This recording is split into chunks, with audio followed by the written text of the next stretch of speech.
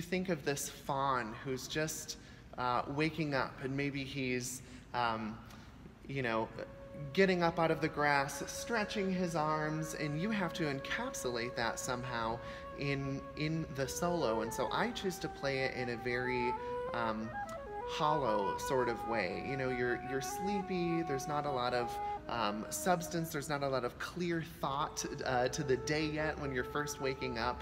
Uh, so that's the way I, I choose to approach this piece.